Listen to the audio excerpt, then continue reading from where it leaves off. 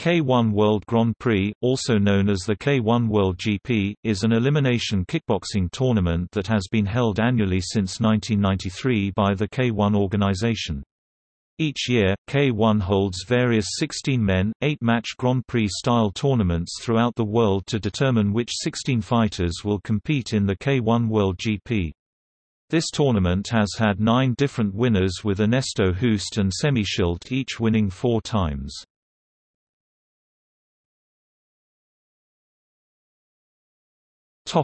Match-ups Usually combatants of the quarterfinals of a 16-man 8-match tournament are paired by drawing. In the case of the final in the Tokyo Dome it is widely different. The whole event is combined with a ceremony and a press conference. The process looks like a lottery show in the beginning with all the fighters pulling a ball from a glass bowl.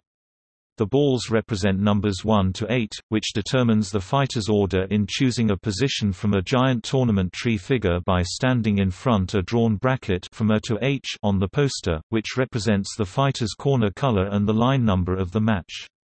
The next fighter does the same, but he can now choose between challenging the one on the stage or an empty section. This procedure goes on until one fighter remains who has no choice just to fill to one slot left next to the one lone fighter.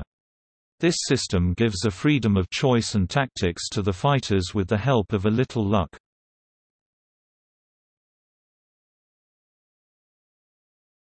K1 World Grand Prix dates and venues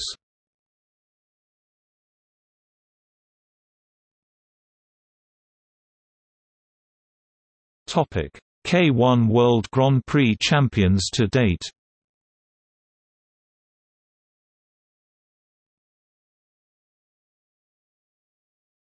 Topic: See also? List of K1 events? List of Pride events? List of male kickboxers?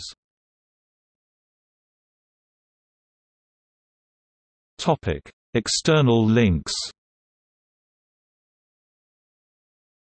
K1 official website